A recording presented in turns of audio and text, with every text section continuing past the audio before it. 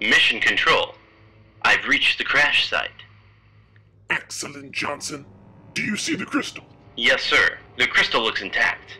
Very good, Johnson. Now, does it look like Mitchell survived the crash? I'm about to find out.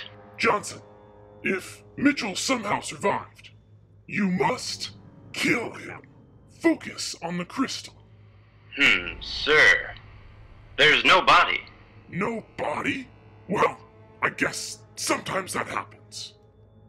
Uh, I guess so. Johnson, it's Mitchell. Help! Help me! My.